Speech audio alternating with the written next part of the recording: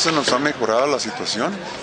Ah, seguimos bajos, bajísimos, porque ahorita muchos nos estamos descapitalizando por el hecho de que pues no hay el movimiento que antes se hace, que antes se tenía.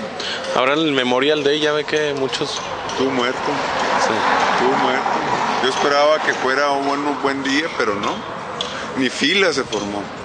Mm. Entonces estuvo muerto, no, o no fueron atractivas las, ventas de allá, pero sí estuvo muerto. Este, Aparte de eso, pues tenemos la nueva obligación que nos llegó, la del dictamen técnico, que ahora nos va a costar 25, 20 mil pesos por cada dictamen técnico que nos, que nos pide la comisión. Si por alguna razón la regamos en el primer dictamen, nos lo regresan y es otro 20 mil pesos.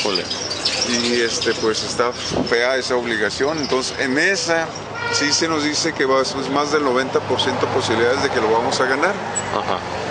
Entonces, estamos todos parando a hacer un amparo colectivo de todos los centros de la ciudad y de la frontera y del resto del país. yo estaba leyendo a un reportaje eh, que se publicó en Tijuana la semana pasada, antepasada, que dice que allá están teniendo el mismo problema los, los centros cambiarios porque la gente en general en México está acudiendo a, Estados Unidos, está haciendo sus compras, pero está haciendo con cargo a sus tarjetas de crédito porque les representa beneficios fiscales y otro tipo de situaciones. ¿será esto más o menos el mismo factor que ustedes estarían viendo? Pues porque cambios en, los bancos casi no vemos. Pues en los bancos es totalmente diferente. Digamos que, ah, este vato se quiere subir a la banqueta. Este, no, desafortunadamente no, pues es diferente tipo de clientela o probablemente se estaban refiriendo a diferente situación. Pero aquí nosotros nos hablamos o nos referimos mucho al, al cliente de menudeo, que, que, va y se hace sus compras de mandado ahí al paso, o va y hace unas adquisiciones chicas. Aquí las operaciones van en promedio más o menos de unos 30 dólares y mucho por gente. Por, por, cliente. Así que, y pues vean el tipo de clientela que existe en esta área, donde probablemente se vea algo con mayor cantidad. Aquí todavía incluso, incluso gente que les tenemos que pedir la identificación, ya ve que 500 dólares para arriba tenemos que pedir la identificación, no quiere y se va. Sí. No quiere dar claro, se molesta, todavía está la psicosis, allí el temor de que se utilice esa información para algún otro fin.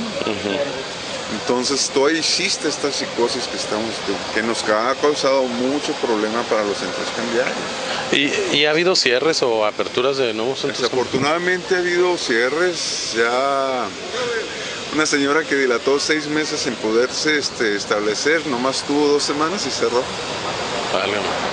Obviamente por el tipo de pues de la situación como está.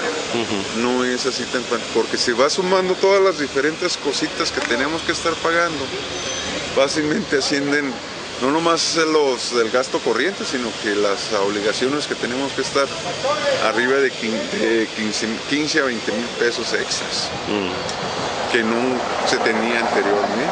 Y entonces con este cierre, ¿cuántos son en los que va del año? Lo, lo que va del año. Pero lo que sucede es de que mucha gente cree que los cambistas estamos barriendo el dinero. Entonces, unos que cierran y otros que abren, pero los que abren no tienen conocimiento del dinero.